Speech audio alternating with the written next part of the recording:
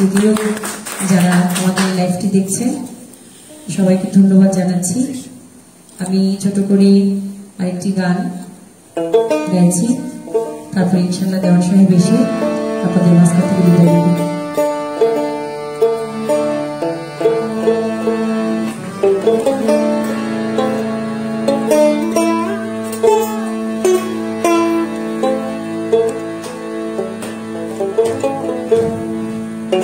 Música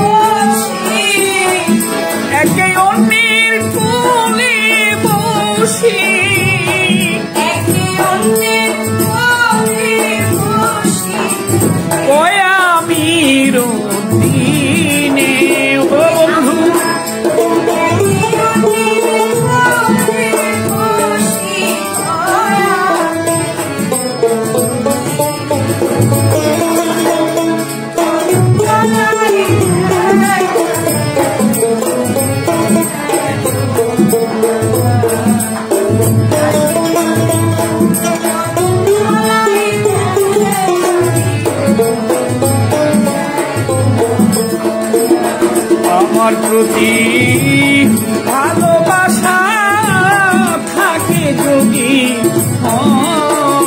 এমনি কদম কালামে জাতীয় বন্ধু, কেউ যেন কদম কালামে জাতীয় বন্ধু কেউ যেন জানে।